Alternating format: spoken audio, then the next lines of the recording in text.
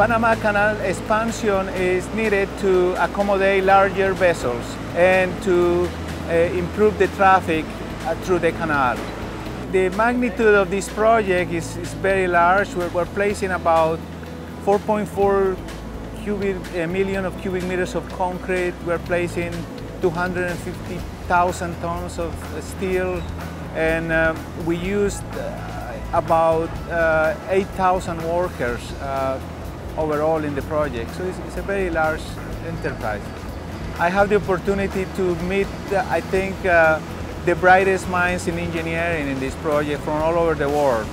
We have uh, truly pushed the uh, boundaries of engineering, uh, doing state-of-the-art dynamic analysis and seismic analysis.